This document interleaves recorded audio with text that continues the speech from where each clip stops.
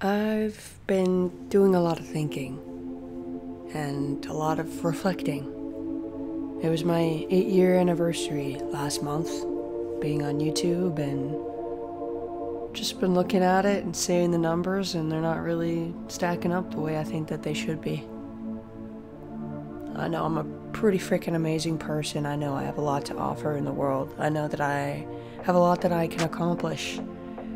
And I've always believed in God. He's he's God has never led me astray.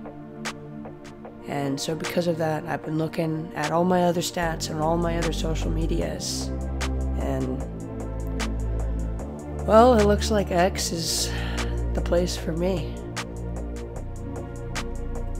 So I guess with that being said, uh, I'm going exclusively on X for pretty much everything that I do.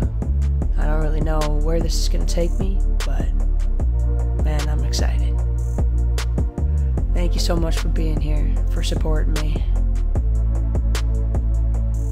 I'll see you on X.